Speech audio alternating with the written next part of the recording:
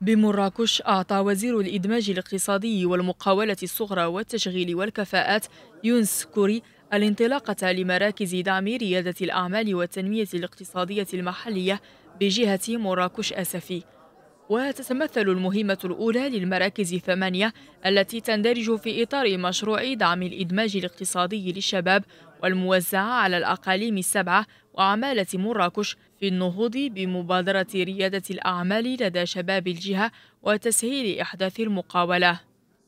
لاحظنا من خلال الورشات اللي شفناها من الشباب اللي كاين اليوم على أنه العدد المناصب الشغل اللي كدير هذه المقاولات الصغيرة جدا مهم. بحال دابا كانت تقريبا واحد 18 أو 20 مقاولة تتشغل ما يناهز ال 100 ديال الناس وجينا باش نقولوا لهم أنه بالإضافة للخدمات ديال التوجيه وديال التكوين اللي كيلقاوها كاين خدمات جديدة وجدتها الحكومة المغربية من قبيل يعني أنهم يستافدوا من بحال دابا في الأوراش جوج من 1500 درهم لكل واحد تم التوظيف ديالو في هذه المقاولات لمدة 9 شهور على أساس أن هذه المقاولات تخلي هاد الناس يخدموا لمدة 12 شهر. Ces centres sont portés par le, le centre régional d'investissement. مراكز دعم رياده الأعمال والتنمية الاقتصادية المحلية التي أرساها المركز الجهوي للاستثمار تسعى إلى أن تشكل فضاء مرجعيا من أجل مواكبة ريادة الأعمال في أفق التشجيع على بروز جيل جديد من المقاولين.